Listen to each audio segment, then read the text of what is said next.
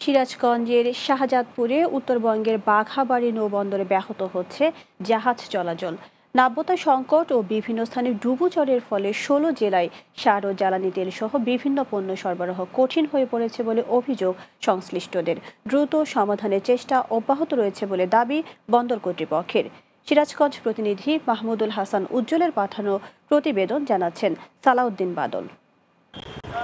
উত্তরাঞ্চলের জেলাগুলোতে জ্বালানি তেল, গম, চাল সহ ইরিবোরো চাষের সার ও অন্যান্য পণ্য সরবরাহের অন্যতম মাধ্যম বাঘাবাড়ি নৌবন্দর। তাই এ বন্দরটি অত্যন্ত গুরুত্বপূর্ণ।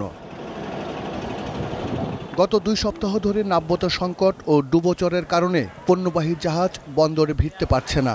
বন্দরের অদূরে জাহাজ থেকে পণ্য খালাস করে পারে নিয়ে যেতে হয়। এতে অতিরিক্ত ব্যয়ের পাশাপাশি সময়ও লাগছে বেশি।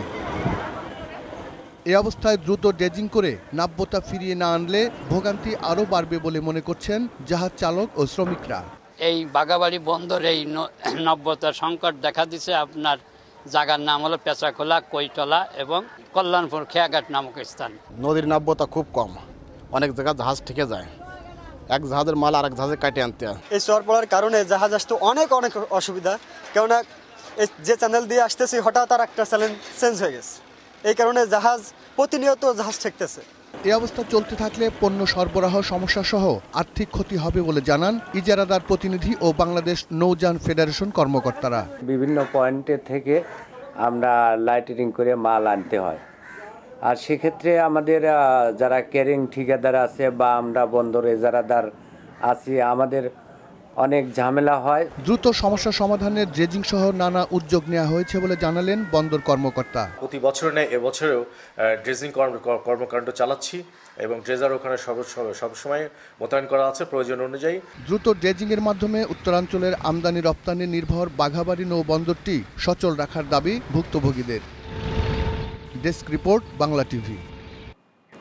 শরীয়তপুরের পালং বাজারে ভয়াবহ অগ্নিকাণ্ডে দুইজন অগ্নিদগ্ধ হয়ে নিহত হয়েছেন। পুড়ে গেছে বাজারে বেশ কিছু দোকান সহ বসত বাড়ি। স্থানীয়রা জানায়, গতকাল মধ্যরাতে বাজারের একটি দোকান থেকে আগুনের সূত্রপাত হয়ে পাশের স্বর্ণের দোকান সহ আঠারোটি দোকান ও চারটি বসত বাড়িতে আগুন ধরে যায়। পরে ফায়ার সার্ভিসের চারটি ইউনিট প্রায় দুই ঘণ্টা চেষ্টায় আগুন নিয়ন্ত্রণে আনে। এ অগ্নিকাণ্ডে মিষ্টি দোকানে আটকা পড়ে অগ্নিদগ্ধ হয়ে দুই কর্মচারী মারা যান। নিহতরা হলেন মাদারীপুরের রাজৈর থানার সুখচাঁদ বৈরাগীর ছেলে পলাশ বৈরাগী ও রবি সরকারের ছেলে বিশ্বজিৎ সরকার। এ ঘটনায় প্রায় বিশ কোটি টাকার ক্ষতি হয়েছে বলে দাবি ব্যবসায়ীদের। এদিকে নড়াইলে অগ্নিকাণ্ড ও ভূমিকম্পের সময় করণীয় বিষয় নিয়ে সচেতনতামূলক মহড়া অনুষ্ঠিত হয়েছে।